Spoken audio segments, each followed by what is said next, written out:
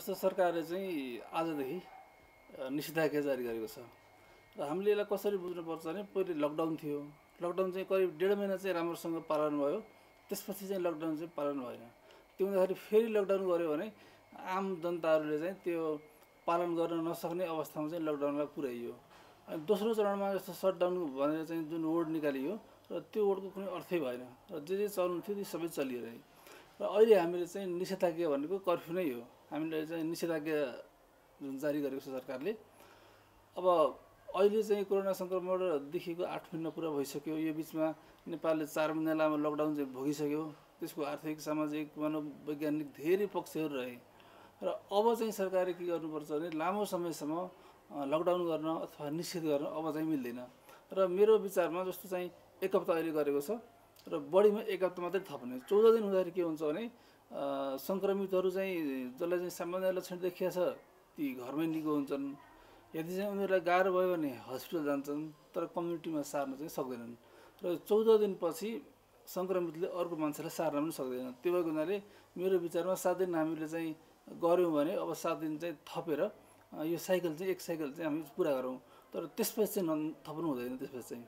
र यो जुन लकडाउन अथवा निषेधाज्ञाको पिरियड छ यो पिरियड भनेको पहिले जस्तो चाहिँ जनताले चाहिँ घरभित्र बस्ने सरकार पनि घरभित्र बस्ने त्यस्तो नहोस्। यसमा चाहिँ जनता चाहिँ घरभित्र बस्ने तर सरकार चाहिँ घर बाहिर हुने। त्यसको अर्थ के हो भने सरकारले उद्देश्य राख्नु पऱ्यो जस्तो यो लकडाउन अथवा यो यो निषेधाज्ञा जारी गरिसकेपछि यो बिचमा सरकारले गर्नुपर्ने काम धेरै छन्। पहिलो कुरो जस्तो चाहिँ सरकारले परीक्षणको दायरा चाहिँ बढाउनु पऱ्यो जस्तै मास टेस्टिङको चाहिँ नियम पनि छ जस्तो एउटा चाहिँ सेरो प्रिभ्यालेन्स भन्ने कम्युनिटीमा कतिको फैलिएको छ त्यो ब्लडबाट हेर्न मिल्छ। अर्को चाहिँ जुन आरटिपिसिआर छ त्यो चाहिँ दिनको बाइस हजार गर्ने हाम्रो क्षमता छ भने त्यसलाई चाहिँ पुलिङ मेथडबाट गर्दाखेरि दिनमा झन्डै एक लाखजनाको चाहिँ टेस्ट गर्न सकिन्छ। त्यस्तै अन्य चाहिँ सिटी स्क्यानबाट पनि गर्न सकिन्छ। अब यदि चाहिँ भाइरल निमोनिया छ कि छैन एक्सरेबाट पनि थाहा हुन्छ। त्यस्तै कतिपय ठाउँमा चाहिँ एन्टिबडी चेक गर्नको लागि पनि पनि एउटा चाहिँ कति पर्सेन्ट हाम्रो चाहिँ पपुलेसन चाहिँ इन्फेक्टेड भइसकेको छ त्यो पत्ता लगाउनको लागि एन्टिबडी चेक गर्न सकिन्छ। यी खालको चाहिँ परीक्षण चाहिँ सरकारले चाहिँ निरन्तर यो बिचमा चाहिँ निरन्तर गरोस् र एउटा चाहिँ कन्क्लुड के निकाल्यो भने हाम्रो देशमा यति प्रतिशत भूभागमा अथवा यो ठाउँमा चाहिँ सङ्क्रमण बढी छ यो ठाउँमा कम छ यो ठाउँमा छैन भन्ने एउटा निष्कर्ष चाहिँ सरकारले निकाल्न सकोस्। पहिलो कुरो। दोस्रो कुरो भनेको जस्तो चाहिँ अहिले चाहिँ अब यो कोभिड नाइन्टिनको पेसेन्टको लागि छुट्याएको जुन आइसोलेसन वार्ड छ आइसियु छ त्यो अहिले नै अब भरिएको स्थिति छ। भने नेपालमा कोरोना सङ्क्रमण त अझै बढ्दैछ र यो जाडो महिनामा चाहिँ अझै बढ्ने चाहिँ जुन आकलन गरिएको छ त्यसले गर्दाखेरि सरकारले तयारी पऱ्यो तयारी कस्तो पऱ्यो भने जस्तो कोभिड र नन कोभिड हस्पिटल छुट्याउनु पऱ्यो एकै ठाउँमा जसरी इटलीले एकै ठाउँमा कोरोनाको पेसेन्ट पनि र अरू पेसेन्ट पनि राख्दाखेरि चाहिँ ठुलो क्षति चाहिँ भोग्यो। त्योबाट हामीले पाठ सिकेर चाहिँ हामीले के गर्नुपर्छ भने जस्तो चाहिँ उदाहरणको लागि काठमाडौँका चाहिँ दुईवटा मेडिकल कलेज दुईवटा ठुला प्राइभेट हस्पिटल दुईवटा चाहिँ ठुला सरकारी हस्पिटल। यसलाई हामीले चाहिँ कोभिड हस्पिटल भनेर यसलाई छुट्याउँ जहाँ चाहिँ कोरोना बिरामीको जस्तो फिभर क्लिनिक फ्लू क्लिनिक अनि परीक्षण त्यसपछि त्यहाँ चाहिँ प्रशस्त आइसियु बेडहरू थप्ने काम गरौँ।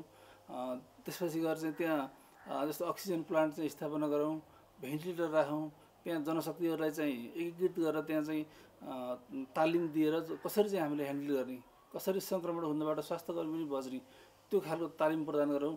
यसरी गरियो भने के हुन्छ भने अन्य जो बिरामीहरू हुन्छन् नन कोभिड बिरामीहरू जस्तो बच्चालाई खोप लाउनु पर्ने हुन्छ प्रसुति गराउनु पर्ने हुन्छ त्यस्तै चाहिँ अब दीर्घ बिरामीहरूको लागि निरन्तर परीक्षण गर्नुपर्ने औषधि खाइरहनु पर्ने हुन्छ ती बिरामीहरूको लागि नन कोभिड हस्पिटल चाहिँ यदि भएन भने उहाँहरू चाहिँ जस्तो इभन डायलाइसिस गर्न नजाने किमो लिन नजाने खोप नलिने घरमै डेलिभरी गराउने त्यो खालको चाहिँ अहिले विगतमा चाहिँ सङ्ख्या बढेको छ।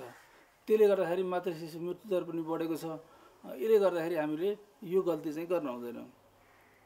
त्यस्तै चाहिँ काठमाडौँ बाहिरको हकमा जस्तो एउटा मेडिकल कलेज एउटा प्राइभेट हस्पिटल एउटा निजी हस्पिटल त्यस्तै चाहिँ अब जहाँ मेडिकल कलेज छैन पपुलेसन कम छ त्यहाँ चाहिँ एउटा प्राइभेट एउटा निजी। यसरी चाहिँ हामीले स्पेसिफिक गरेर कोभिड हस्पिटल चाहिँ छुट्टै बनाउनुपर्छ अर्को कुरो यो बिचमा सरकारले गर्नुपर्ने काम भनेको जस्तो अब जनताहरूलाई चाहिँ अब एउटा राहत पनि चाहिँ दिनुपर्ने हुन्छ। किनभने यो जनताहरू चाहिँ दैनिक काम गरेर खाने मान्छेहरूलाई एउटा गुजाराको पनि व्यवस्था चाहिँ सरकारले गर्नुपर्ने हुन्छ। त्यस्तै अर्को कुरा भनेको अब के छ भने सङ्क्रमण धेरै बढ्यो भने बिरामीहरूलाई हस्पिटलमा चाहिँ राख्न सक्ने अवस्था चाहिँ हुँदैन।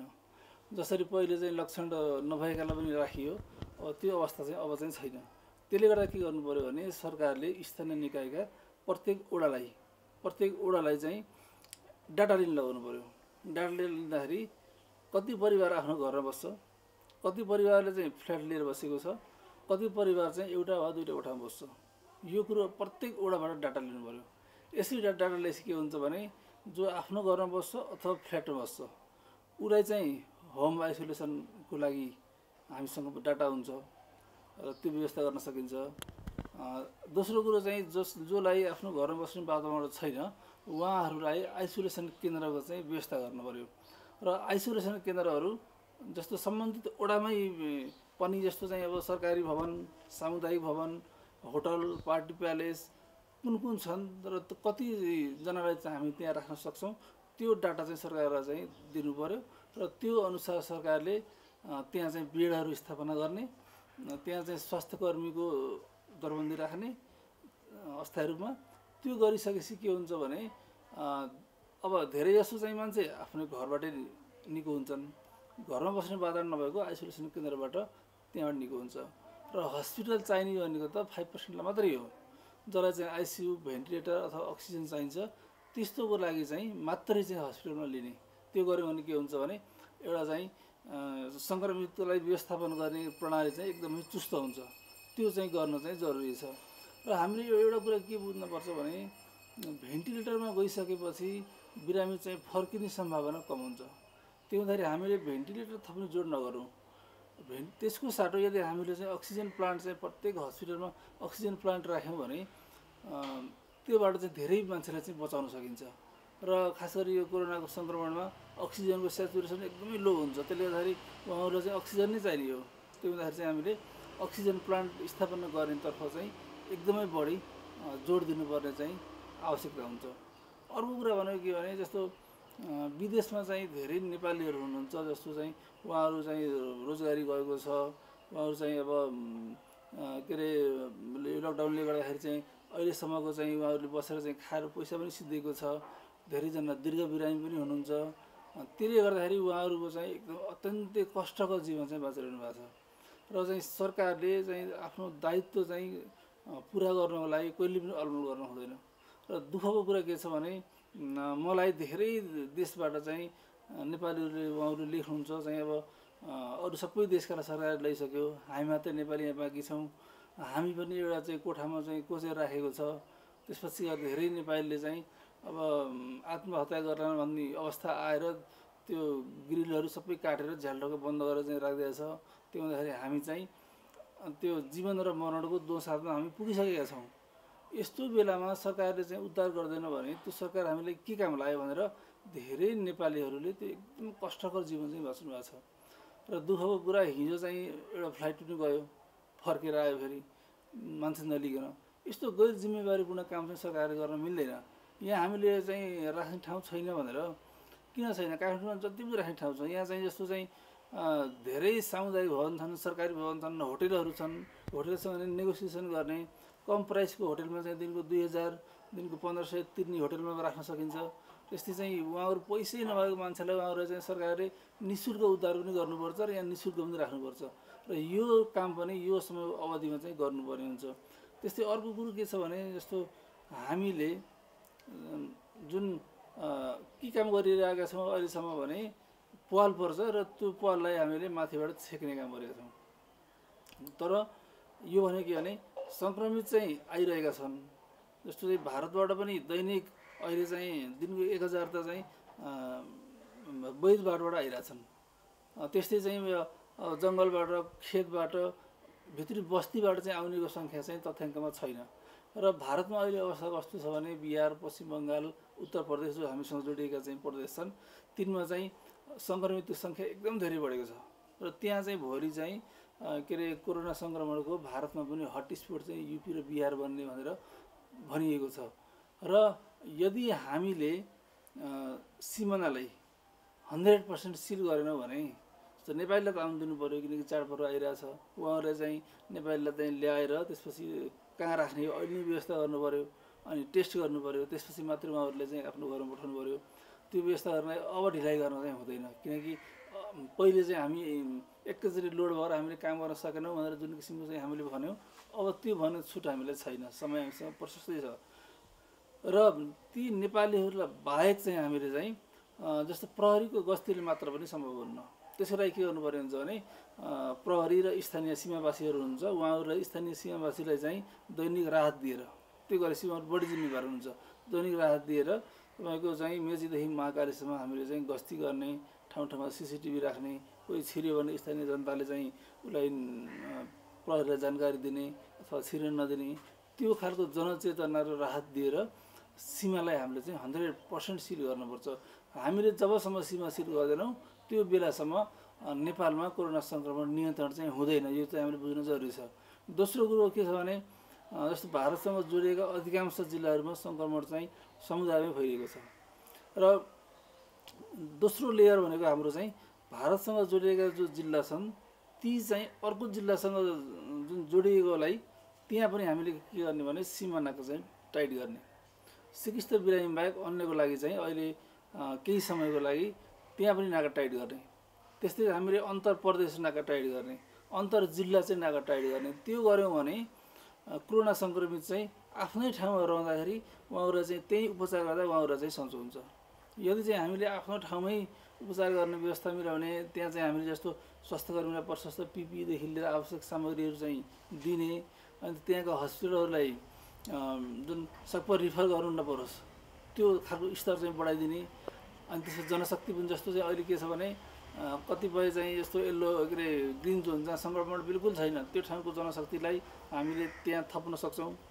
त्यस्तै धेरै चिकित्सकहरू प्रशासनिक काम गर्नुभएको जस्तो चाहिँ स्वास्थ्य मन्त्रालयमा स्वास्थ्य सेवा विभागमा विभिन्न महाशाखाहरूमा जुन प्रशासनिक काम गरेर बस्नुभएको छ अलिकति चाहिँ उहाँहरूको चाहिँ साटफेर पनि गर्न जरुरी छ। किनभने कोही चाहिँ कोभिडका पेसेन्टसँग रात दिन चाहिँ जोखिम लिएर चाहिँ खट्ने कोही चाहिँ प्रशासनिक काम गर्ने अथवा चाहिँ ग्रिन जोनमा चाहिँ आराम गरेर बस्ने त्यो खालको चाहिँ नगरेर हामीहरू चाहिँ के गर्नु जरुरी छ भने सबैलाई चाहिँ न्यायोचित रूपमा चाहिँ हामीहरूले चाहिँ व्यवस्थापन गर्न पनि त्यो चाहिँ अत्यन्त जरुरी छ। होइन काठमाडौँ उपत्यका जस्तो पचास साठी लाख चाहिँ जनसङ्ख्या भएको यति ठुलो सहरमा यो भित्र छिर्ने चाहिँ मेन नाकाहरू छन् शाखा नाकाहरू छन् विभिन्न बाटाहरू छन् तर धेरै छैनन्। त्यो हुँदाखेरि चाहिँ हामीहरूले बाटोको जिम्मा चाहिँ जुन नाकाको जिम्मा चाहिँ हामीले सेनालाई दिनुपर्छ। प्रहरीलाई हामीले जिम्मा दिएर हेरेकै हो। तर के भइदियो भने आउन चाहने मान्छे सबै आए। त्यसले गर्दाखेरि काठमाडौँमा चाहिँ सङ्क्रमण चाहिँ धेरै बढायो। त्यो भएको हुनाले नाकाहरू चाहिँ सेनाको जिम्मा दिएर एकजना पनि चाहिँ अवैध रूपमा प्रवेश गर्न चाहिँ नपाओस्। त्यो कुरो चाहिँ सरकार चाहिँ एकदम चाहिँ स्ट्रिक हुन चाहिँ जरुरी छ। किनभने यो चाहिँ विषम परिस्थिति हो या हामीले अलिकति हेलचेक्राइ गऱ्यौँ भने ठुलो क्षति हुन्छ। त्यो हिसाबले चाहिँ नाका पनि त्यसरी सिल गर्नु पऱ्यो अर्को कुरो चाहिँ के छ भने भारतबाट आएका धेरै मजदुरहरू अहिले पनि यहाँ काममा छन्। त्यस्तै चाहिँ सङ्क्रमित क्षेत्रबाट चाहिँ बच्नको लागि आएका धेरै मान्छेहरू पनि यहाँ छन्। उनीहरू कहाँ कहाँ छन् भन्ने कुरो खोजेर परीक्षण गर्नु सरकारको चाहिँ दायित्व हो। उनीहरूलाई खोजेर परीक्षण गर्ने परीक्षण गरिसकेपछि सङ्क्रमितलाई आइसोलेसनमा राख्ने सङ्क्रमण छैन भने चाहिँ उहाँहरूले चाहिँ समाजमा चाहिँ घुमिरहन दिने त्यो गर्न सकिन्छ। अनि काठमाडौँमा चाहिँ क्वारेन्टिन छैनन्। यो चाहिँ अत्यन्त दुःख लाग्दो कुरा हो। अहिले स्थानीय निकाय चाहिँ गाउँपालिकाहरूमा चाहिँ क्वारेन्टिन छन्। गाउँपालिका चाहिँ का चाहिँ अध्यक्ष उपाध्यक्ष वडा अध्यक्षहरू सदस्यहरू एकदम खटेर काम गरिरहेछन् उनीहरूले।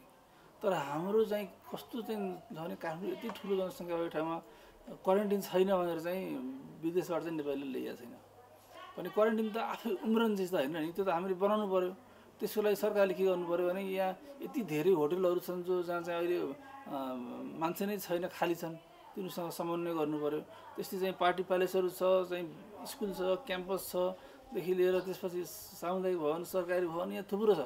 खै तिनीलाई क्वारेन्टाइन बनाएको त्यो चाहिँ यति ठुलो जनसङ्ख्या भएको ठाउँमा क्वारेन्टाइन नबनाउने आइसोलेसन केन्द्र नबनाउने यो भनेको चाहिँ के हो भने अत्यन्तै चाहिँ यो हल्का रूपमा लिएको छ सरकारले। यति हल्का रूपमा चाहिँ लियो भने भोलि चाहिँ ठुलो क्षति हुनसक्छ भन्ने कुरा सरकारले अहिलेसम्म हेक्का राखेको छैन। यसरी चाहिँ हामीले यो चाहिँ निषेधाज्ञाको अवधिलाई हामीले अत्यन्तै उद्देश्यमूलक बनाउनको लागि हामीले यसरी खट्यौँ र लक्ष्यसहित चाहिँ हामी चाहिँ गऱ्यौँ भने यो चाहिँ सफल हुन्छ। यदि हामीले झारा टार्न गरेका हौँ हामीले चाहिँ हामीलाई चाहिँ यसको कुनै मतलब छैन यसको रिजल्टप्रति हामीलाई मतलब छैन भने आम जनतालाई घरमा थुन्नु त्यो फेरि अर्को चाहिँ अपराध हुन्छ। किनभने उद्देश्य छैन र चाहिँ जस्तो लकडाउनले अथवा कर्फ्युले चाहिँ कोरोनालाई चाहिँ नियन्त्रण गर्नु त होइन। त्यो यो किन गर्नु परेको भने पहिलो कुरो चाहिँ मान्छेको मुभमेन्ट रोक्नलाई मान्छेको मुभमेन्ट रोक्नलाई फेरि माइक्रो म्यानेजमेन्ट गर्न जरुरी छ। जस्तो सरकारले चाहिँ सरकारले ड्युटी गर्छ चाहिँ पुलिसले ड्युटी गर्छन् चाहिँ मेन रोडमा। न्यु रोडतिर दरबारमागतिर बानेश्वरतिर मेन रोडमा ड्युटी गर्छन्। मेन रोडमा चाहिँ त्यो कसैको पनि घर छैन त्यहाँ। सब चाहिँ कमर्सियल बिल्डिङहरू हो। त्यो हुँदाखेरि चाहिँ मेन रोड चाहिँ ट्राफिकलाई जिम्मा दिने। यस्तो भित्री बस्तीहरू भित्री गल्लीहरू जहाँ भिडभाड हुन्छ त्यो ठाउँमा चाहिँ नेपाल प्रहरी सशस्त्र प्रहरी सामुदायिक प्रहरी नगर प्रहरी उनीहरूलाई चाहिँ खटाएर अनुगमन र निगरानी चाहिँ तीव्र रूपमा चाहिँ गर्नु पर्यो। र यो बिचमा अर्को कुरा के भने जनचेतनाको लागि सरकारले चाहिँ ठोस काम गर्नु पर्यो। र जनचेतना हामीले जति फैलाउन सक्यौँ त्यति नै यो कोरोना नियन्त्रणमा ठुलो सहयोग हुन्छ किनभने हामीले सबैजनाले मास्क लगाउँदा मात्रै पनि त्यो मास्क लगाउँदा मात्रै पनि सेभेन्टी फाइभ चाहिँ प्रतिशत सङ्क्रमणलाई हामीले कन्ट्रोल गर्न सकिन्छ। मास्क प्लस दुरी भौतिक दूरी दुई मिटरको त्यो दुइटा मात्रै काम गर्ने हो भने हामीले चाहिँ नाइन्टी पर्सेन्ट सङ्क्रमणलाई हामीले चाहिँ कम गर्न सकिन्छ। त्यस्तै चाहिँ अर्को भनेको नियम नियमले हात धुने अथवा सेनिटाइज गर्ने यस्तै खुला ठाउँमा बस्ने बन्दको ठाउँमा नबस्ने तर चाहिँ नथुक्ने त्यो खालको अलिकति सरसफाइको चाहिँ हामीले मेन्टेन गऱ्यो भने यो सङ्क्रमणलाई हामीले राम्रोसँग चाहिँ हामीले चाहिँ जित्न सक्छौँ यस्तो गरेका देशहरू धेरै छन् ती देशहरूले अहिले सङ्क्रमणलाई जितिसकेका छन्। त्यो गर्नु चाहिँ जरुरी छ।